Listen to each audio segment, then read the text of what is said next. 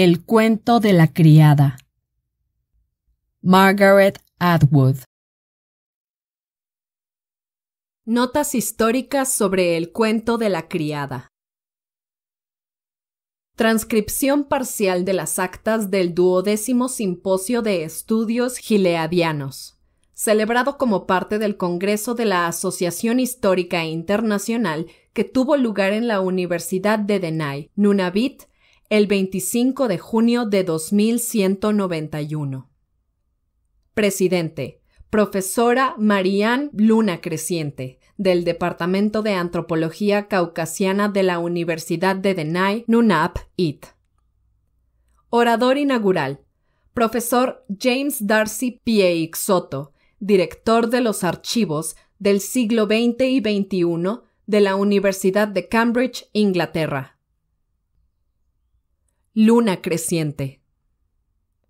Estoy encantada de darles la bienvenida a todos y satisfecha al comprobar que muchos de ustedes asisten al discurso sin duda fascinante y provechoso del profesor Pieix Soto. Los miembros de la Asociación Gileadiana de Investigación consideramos que este periodo merece un estudio más exhaustivo, en la medida en que fue responsable de la modificación del mapa del mundo, sobre todo en este hemisferio. Pero antes de pasar a ello, quisiera hacer algunos anuncios. La expedición de pesca saldrá mañana, como estaba programado, y para aquellos que no hayan traído un adecuado equipo para la lluvia y repelente de insectos, les informo que pueden conseguirlos con cargo a su cuenta en la recepción.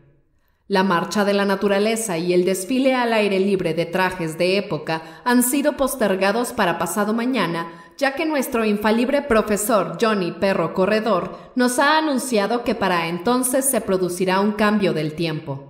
Permítanme recordarles el resto de las actividades patrocinadas por la Asociación Gileadiana de Investigación y que ustedes pueden realizar durante este Congreso como parte de la programación de este duodécimo simposio. Mañana por la tarde, el profesor Gopal Chatterjee, del Departamento de Filosofía Occidental de la Universidad de Baroda de la India, disertará sobre los elementos Krishna y Kali en la religión estatal del periodo primitivo de Gilead. Y el jueves por la mañana intervendrá la profesora Sieglinda Bamburen del Departamento de Historia Militar de la Universidad de San Antonio, República de Texas. La profesora Van Buren ofrecerá lo que, sin duda, será una fascinante conferencia ilustrada sobre la táctica de Varsovia, la política del cerco del núcleo urbano en las guerras civiles gileadianas. Estoy segura de que todos querremos asistir. También debo recordarle a nuestro orador inaugural, aunque estoy segura de que no es necesario, que se ciña al tiempo que le ha sido asignado, porque queremos dedicar una parte a las preguntas, y supongo que nadie querrá perderse el almuerzo, como ocurrió ayer. El profesor Pieix Soto prácticamente no necesita presentación, ya que es bien conocido por todos nosotros, sino personalmente, al menos a través de sus numerosas publicaciones. Entre ellas se incluyen las leyes suntuarias a través de las épocas, un análisis de documentos y el ya conocido estudio Irán y Gilead, dos monoteocracias de finales del siglo XX vistas a través de los diarios. Como todos ustedes saben, es codirector, junto con el profesor Ana de Nudoso, también de Cambridge, del manuscrito que hoy nos ocupa y colaboró en la transcripción, en los comentarios y en la publicación del mismo. El título de esta charla es Problemas de autenticación con relación a El cuento de la criada. Profesor Pieix Soto. Pieix Soto. Gracias. Estoy seguro de que todos disfrutamos del té helado de la cena de anoche y que ahora estamos disfrutando en igual medida de nuestra ardiente presidenta. Utilizo la palabra disfrutar en dos sentidos, excluyendo, naturalmente, el tercero, ya obsoleto. Pero seamos serios. Desearía, tal como indica el título de esta pequeña charla, considerar algunos de los problemas vinculados con el supuesto manuscrito que ya es bien conocido de todos ustedes y que lleva el título de El cuento de la criada. Digo supuesto porque lo que tenemos ante nosotros no es el artículo en su forma original. En términos estrictos, cuando lo descubrimos no era en absoluto un manuscrito y no llevaba título. La inscripción, el cuento de la criada, le fue añadida por el profesor Wade, en parte como homenaje al gran Geoffrey Chaucer, pero aquellos de ustedes que como yo conocen al profesor Wade más de cerca me comprenderán cuando digo que estoy seguro de que todos los juegos de palabras fueron intencionados, sobre todo el que tiene que ver con el significado vulgar de la palabra cuento, siendo hasta cierto punto la base de sustentación de esa fase de la sociedad gileadiana de la que trata nuestra saga. Este artículo, no me atrevo a utilizar la palabra documento, fue descubierto en el emplazamiento de lo que otrora fue la ciudad de Bangor, en lo que en la época anterior al comienzo del régimen gileadiano había sido el estado de Maine. Sabemos que esta ciudad fue un importante apeadero de lo que nuestra autora denomina el tren metropolitano de las mujeres ya que algunos de nuestros bromistas historiadores le dieron el apodo de el tren metropolitano de las gachis. Por esta razón, nuestra asociación se ha interesado especialmente en él. El artículo en su estado original se componía de una caja de zapatos de las de metal, para uso del ejército de Estados Unidos, quizá hacia 1955. Este hecho en sí mismo no tiene por qué ser significativo, pues es sabido que estas cajas de zapatos se vendían frecuentemente como desechos del ejército y por lo tanto pueden haber quedado dispersadas. Dentro de esta caja de zapatos, precintada con cinta adhesiva como la que se usaba antiguamente para los paquetes postales, había aproximadamente 30 casetes, del tipo del que se volvieron obsoletas alrededor de los 80s o los 90s con la llegada de los discos compactos. Les recuerdo que este no es el primer descubrimiento de este tipo. Sin duda les resulta familiar el artículo conocido como Las Memorias de A.B., hallado en un garaje de un suburbio de Seattle, y el diario de P., desenterrado accidentalmente durante la construcción de un nuevo templo en las proximidades de lo que una vez fue Syracuse, en Nueva York. El profesor Wade y yo estábamos muy entusiasmados con este nuevo hallazgo. Afortunadamente, varios años antes, con la ayuda de nuestro técnico anticuario residente, habíamos reconstruido un aparato capaz de reproducir semejantes casetes, y de inmediato emprendimos la cuidadosa tarea de la transcripción. En la colección había en total unas 30 casetes, con proporciones variables de música y palabras. En general, cada casete comienza con dos o tres canciones, sin duda utilizadas como camuflaje. Luego la música se interrumpe y a continuación se oye una voz. Es la voz de una mujer y, según nuestros expertos en fonética, es la misma desde el principio al fin. Las etiquetas de los casetes eran etiquetas auténticas que databan, por supuesto, de una época anterior al comienzo de la primera era gileadiana, ya que, bajo este régimen, toda esa música profana quedó prohibida. Por ejemplo, había cuatro casetes tituladas Los años dorados de Elvis Presley, tres de Canciones Populares de Lituania, tres de Muchacho George se lo quita y dos de Los violines melodiosos de Mantovani, así como algunos títulos de los que solo había una cassette. Las hermanas gemelas en el Carnegie Hall. Es una de mis predilectas. Si bien las etiquetas son auténticas, no siempre fueron colocadas en la casete con las canciones correspondientes. Además, las casetes no guardaban ningún orden especial, sino que estaban tiradas en el fondo de la caja y tampoco estaban numeradas. Así que le correspondió al profesor Wade y a mí mismo ordenar los bloques de diálogo en el orden en que parecían sucederse. Pero como he dicho alguna vez, el resultado se basa en conjeturas y debe ser considerado como algo aproximado y sujeto a una investigación más profunda. Una vez que tuvimos hecha la transcripción y que tuvimos que revisar varias veces debido a las dificultades que planteaba el acento, las alusiones a cosas desconocidas y los arcaísmos, nos vimos obligados a tomar algunas decisiones con respecto al material que tan laboriosamente habíamos conseguido. Se nos presentaban varias posibilidades. En primer lugar, las casetes podían ser una falsificación. Como ustedes saben, se han dado varios casos de falsificaciones de este tipo por las que los editores han pagado sumas elevadas, deseando sin duda aprovecharse del sensacionalismo de estos relatos. Parece que ciertos periodos de la historia se convierten rápidamente, tanto para otras sociedades como para aquellas que los viven, en temas de leyenda no especialmente edificantes y en motivo de autocomplacencia hipócrita. Si se me permite un comentario al margen, diré que en mi opinión debemos ser prudentes en nuestros juicios morales sobre los gileadianos. Seguramente ya hemos aprendido que tales juicios son forzosamente específicos de la cultura. Además, la sociedad gileadiana se encontraba bajo una fuerte presión demográfica y de otro tipo, y estaba sujeta a factores de los que nosotros mismos estamos libres. Nuestra misión no consiste en censurar, sino en comprender. Dejando de lado mi digresión, de todos modos resulta bastante difícil falsificar una casete como esta de un modo convincente, y los expertos que las analizaron nos aseguraron que los objetos físicos en sí mismos eran genuinos. Por cierto, la grabación misma, o sea, la superposición de la voz sobre la música, no podría haberse hecho en los 100 ni en los 50 últimos años. Suponiendo entonces que las casetes son auténticas, ¿qué decir de la naturaleza del relato? Obviamente no pudo haber sido grabado en el mismo periodo de tiempo del que había puesto que, si la autora dice la verdad, no habría tenido a su alcance ni magnetófono ni casete, y tampoco habría tenido dónde esconderlos. Además, hay en su narración cierta calidad reflexiva que, en mi opinión, descartaría la simultaneidad.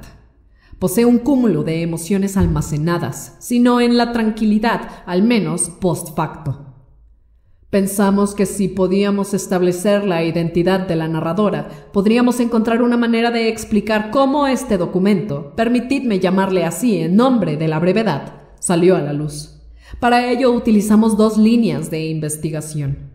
Primero, intentamos, utilizando planos urbanos de Bangor y de otra documentación que quedaba, identificar a los habitantes de la casa que debía encontrarse en aquel entonces en el sitio del descubrimiento.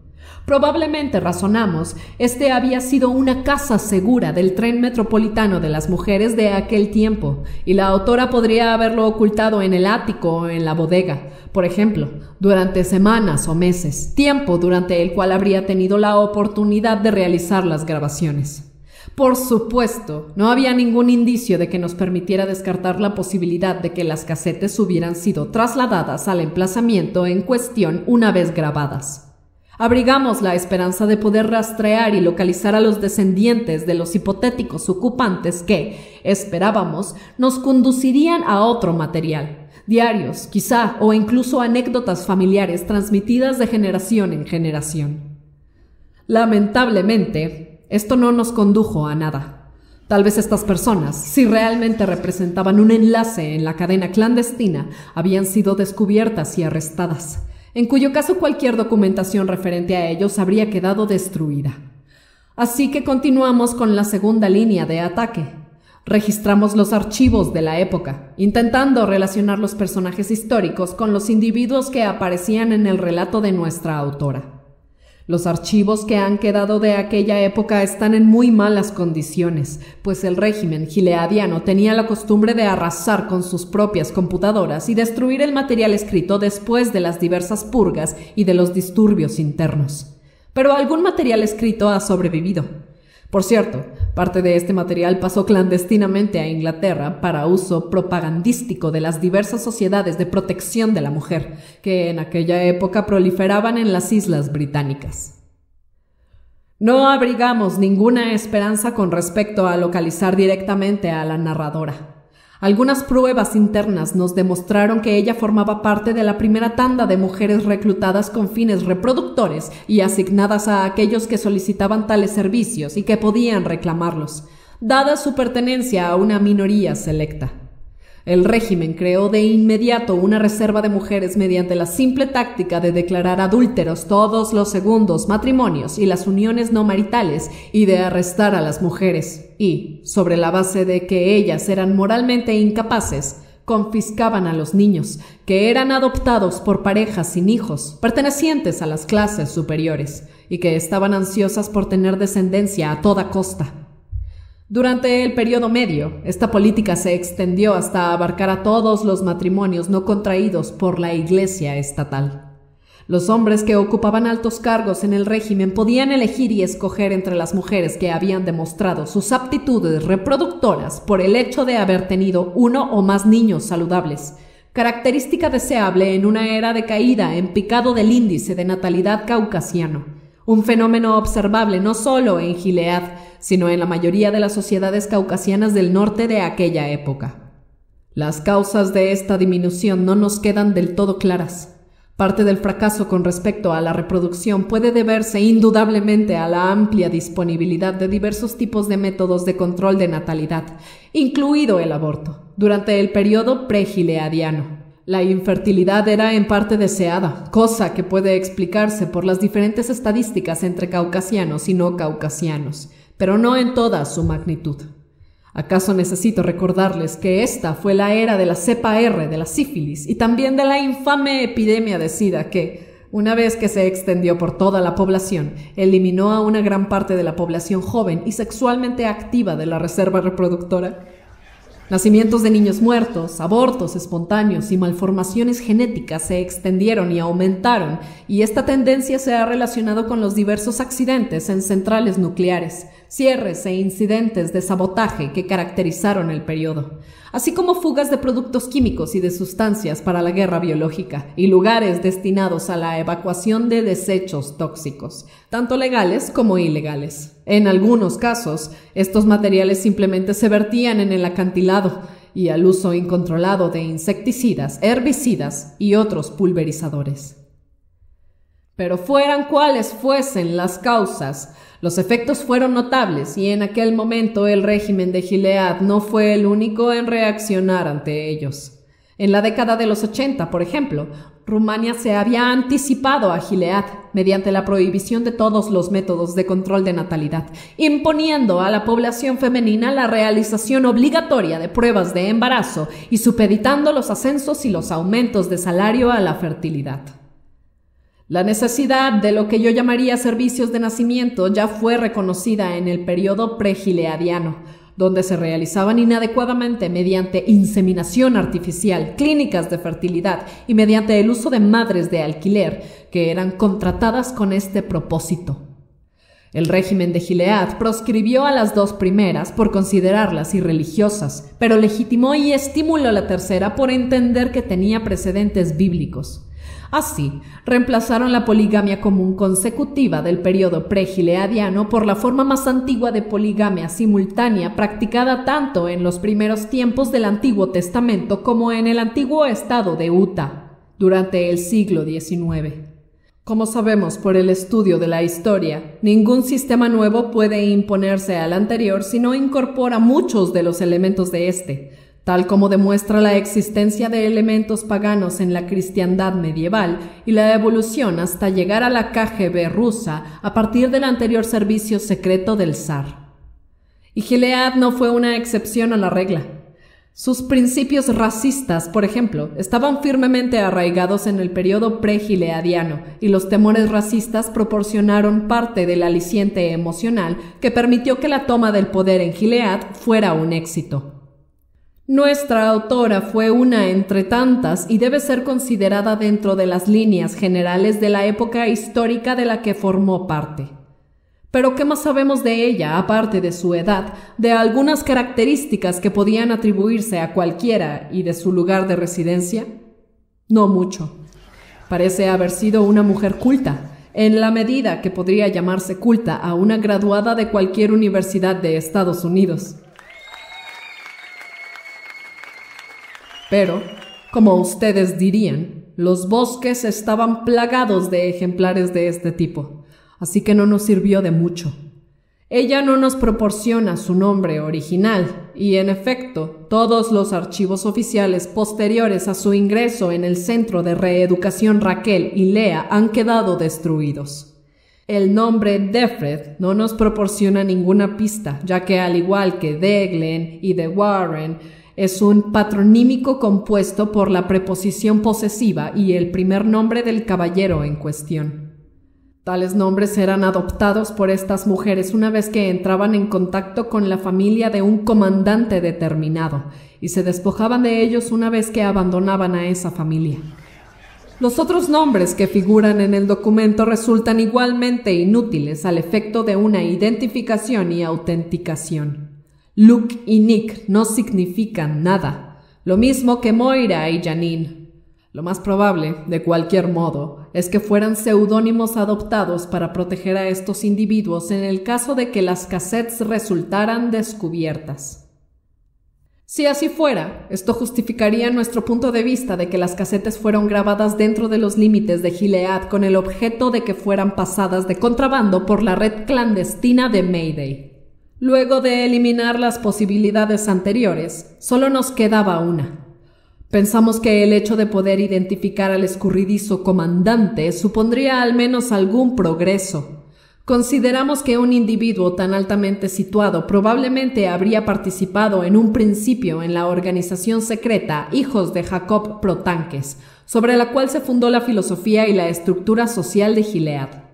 Esta organización se formó poco después de que se aceptara la paralización de las armas por parte de las superpotencias y de la firma del llamado Acuerdo de las Esferas de Influencia, que dejaba a las superpotencias libertad de acción, sin interferencias con respecto a las crecientes rebeliones que tenían lugar dentro de sus propios límites. Los archivos oficiales de las reuniones de los hijos de Jacob fueron destruidos después de la gran purga del periodo medio, que deshonró y liquidó a algunos de los primeros artífices de Gilead. Pero disponemos de alguna información a través del diario cifrado realizado por Wilfred Limpkin, uno de los sociobiólogos de la época. Como es sabido, la teoría sociobiológica de la poligamia natural fue utilizada como una justificación científica de algunas de las prácticas menos corrientes del régimen, así como el darwinismo fue utilizado por ideologías anteriores.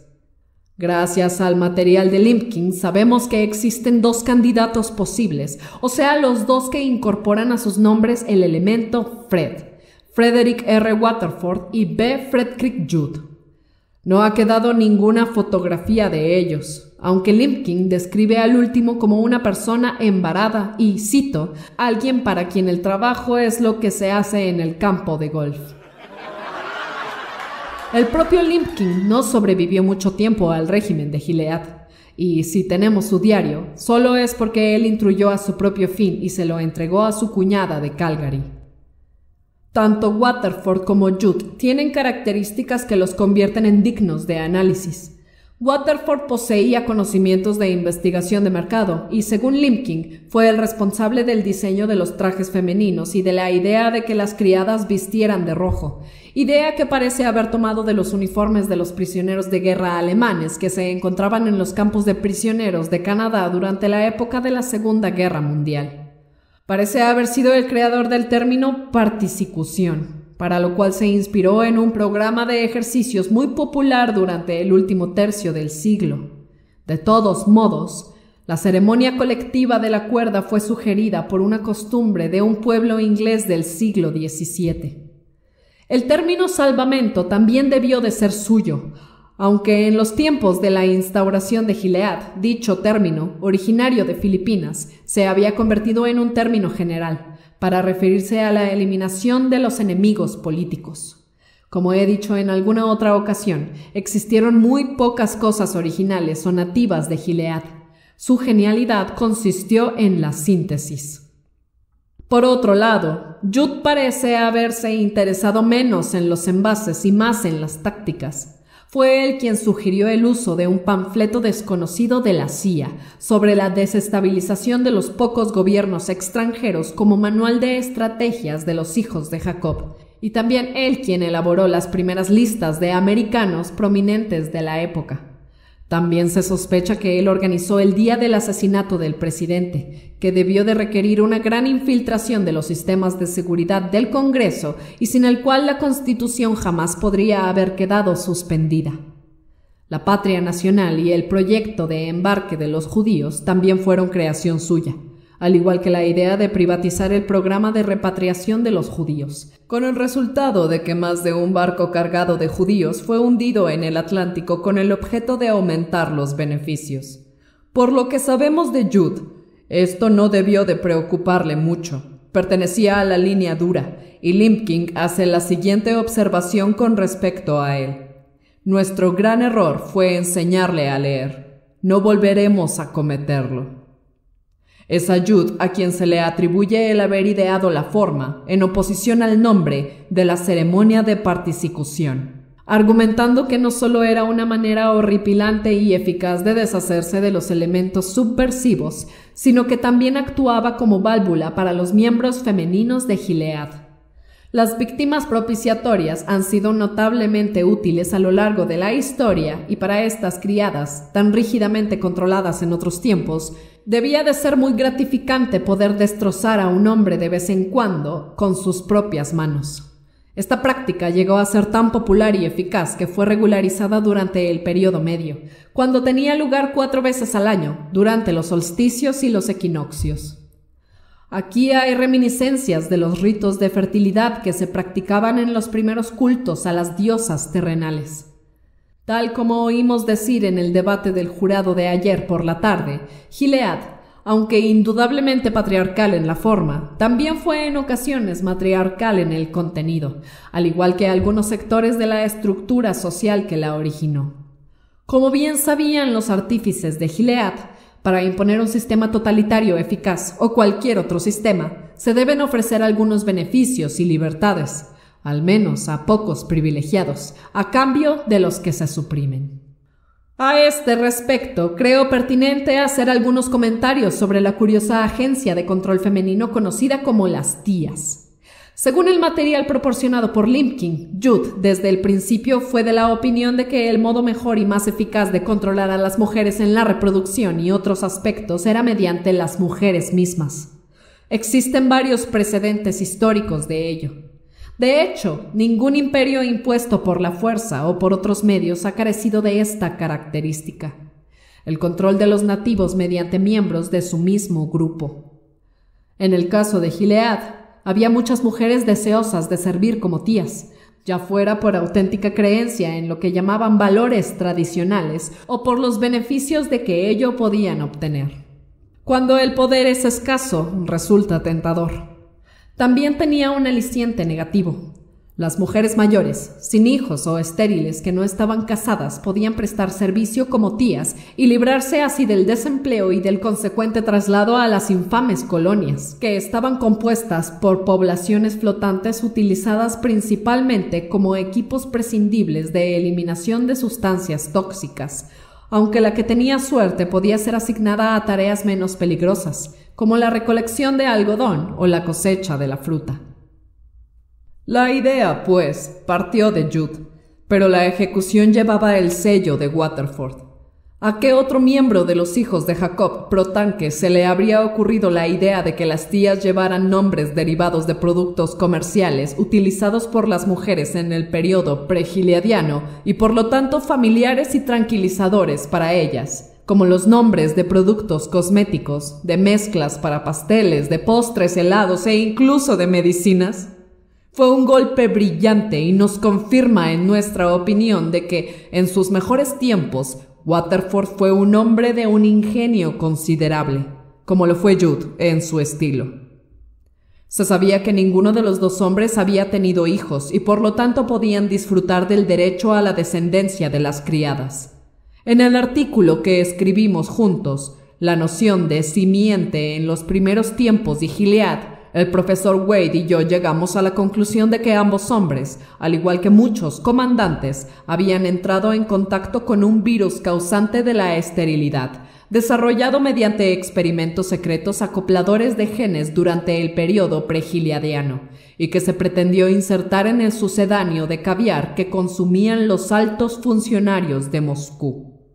El experimento fue abandonado después del acuerdo de las esferas de influencia, porque se consideró que el virus era absolutamente incontrolable y también muy peligroso para muchos, aunque algunos querían diseminarlo por el territorio de la India. De cualquier manera, ni Jude ni Waterford estuvieron casados jamás con ninguna mujer que se llamara Pam ni Serena Joy. Este último nombre parece haber sido una maliciosa invención de nuestra autora. El nombre de la esposa de Jude era Bambi Mae y el de la esposa de Waterford era Thelma.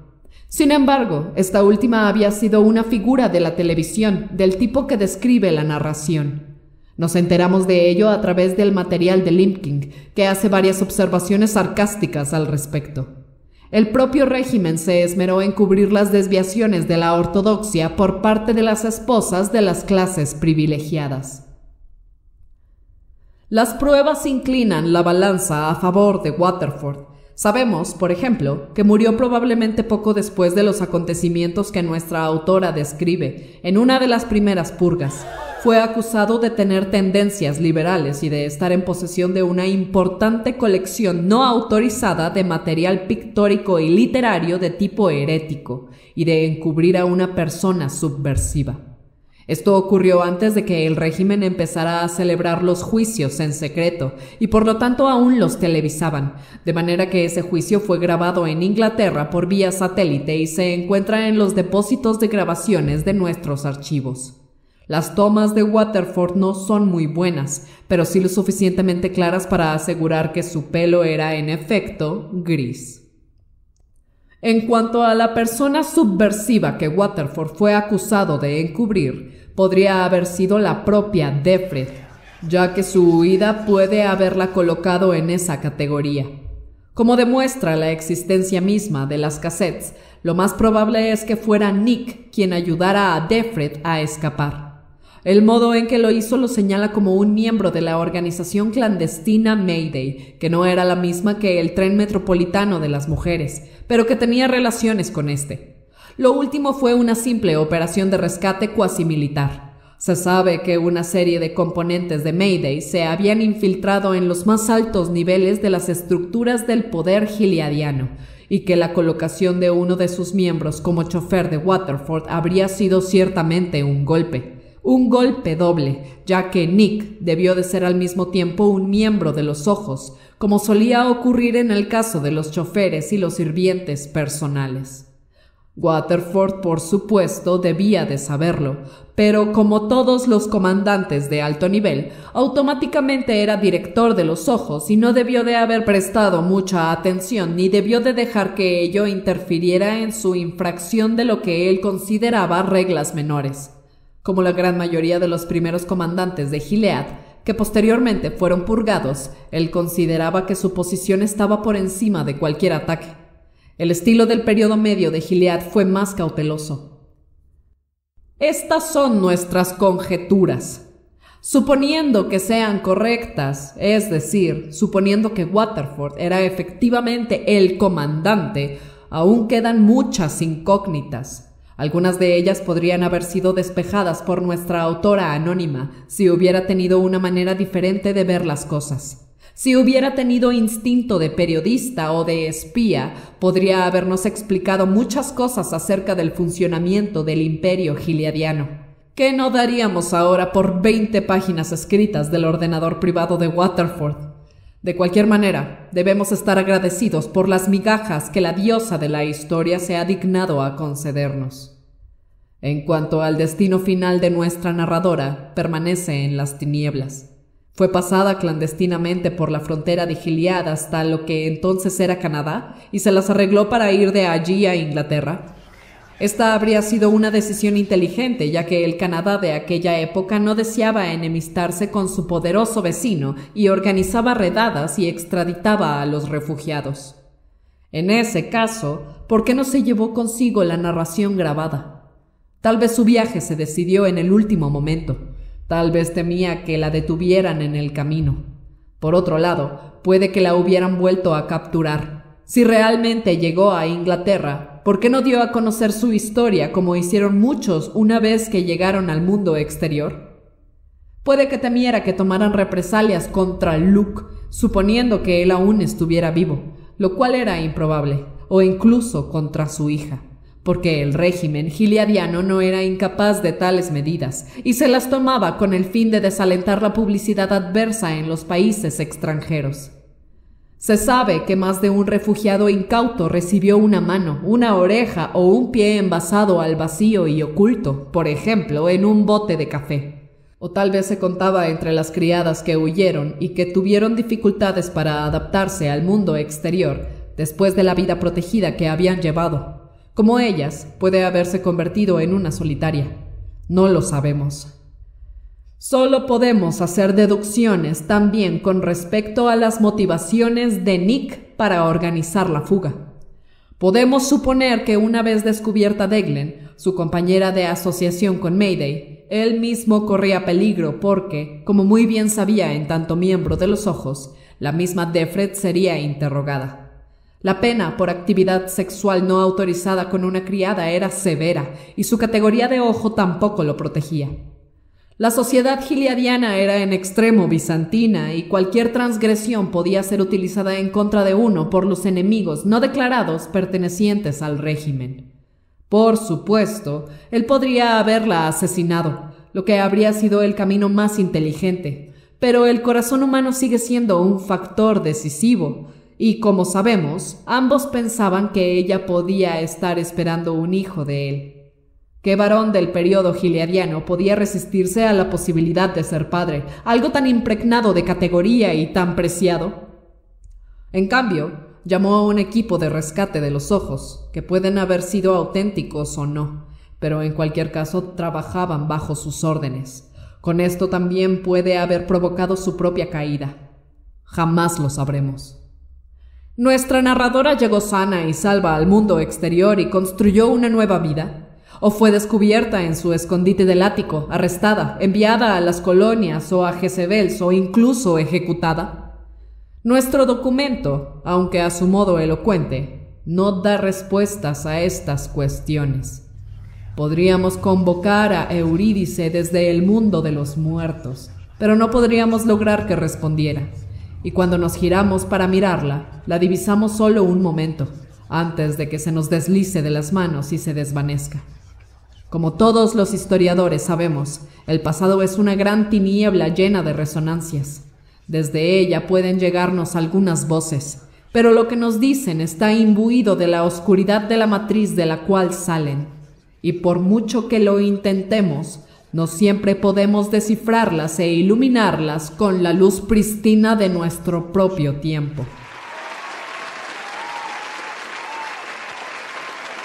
¿Alguna pregunta?